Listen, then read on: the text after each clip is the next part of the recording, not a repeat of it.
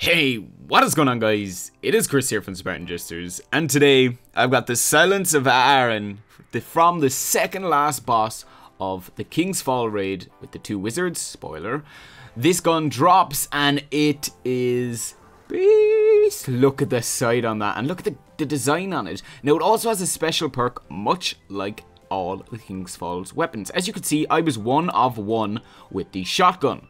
Now, it has the perk called Cocoon, which means that it reloads itself while it is stowed. Now, this means while it's equipped, not in your inventory.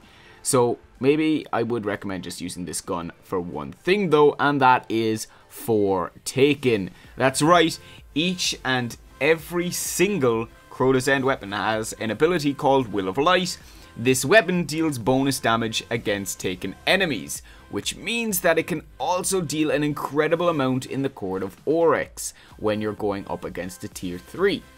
So I would definitely recommend keeping and infusing this gun just for the Court of Oryx. At certain stages, you're going to go against taken bosses, and I would recommend using it.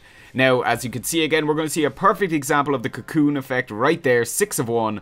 Oh, it deals a beastly amount of damage. This thing is a close range and personal shotgun. No further away. You're not going to get any kills from far away. You go close with this, things are going to die.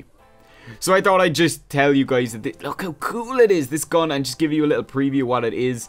How much detail is gone into this thing. It's just insane.